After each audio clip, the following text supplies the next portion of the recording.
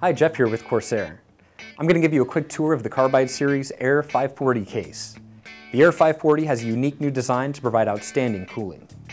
Our direct airflow path design works on the principle that the components that generate the most heat should receive the coldest, most direct airflow from outside the chassis. The Carbide Air 540 utilizes dual chambers to deliver cooler air to your CPU, graphics cards, motherboard, and memory without your drives or power supply getting in the way of the airflow. The airflow path is effectively a straight line, drawing cool air directly to the components. Let's take a closer look at the airflow. The mesh top and front slide out easily, like this.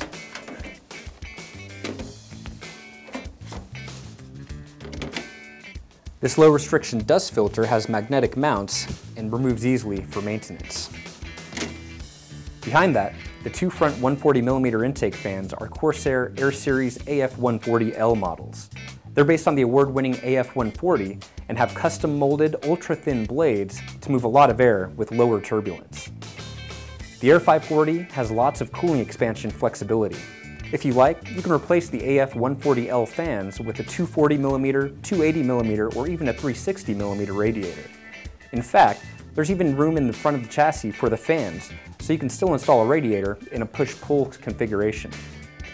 Up on top, you can add a 240 millimeter or 280 millimeter radiator. And as you imagine, this gives you the potential for a pretty impressive custom air cooling or water cooling setup.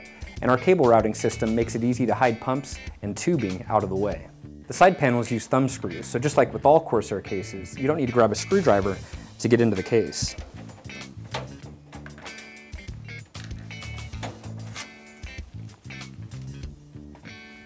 Moving the power supply and SSD and optical drive cages to their own chamber not only improves cooling and lowers the noise, but saves space and makes the Air 540 remarkably flexible for its compact size. There are 8 PCIe expansion slots, and you can fit graphics cards up to 320 millimeters in length.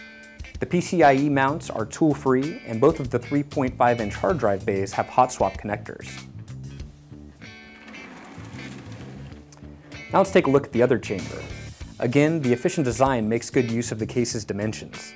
There are two optical drive bays and two SSD bays.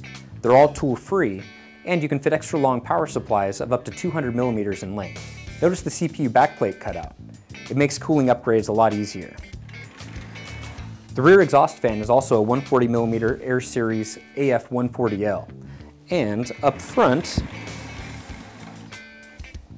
you'll find two USB 3.0 ports, headphone, microphone jacks, power and reset switches. Thanks for watching, and if you have any questions, here's how to reach us.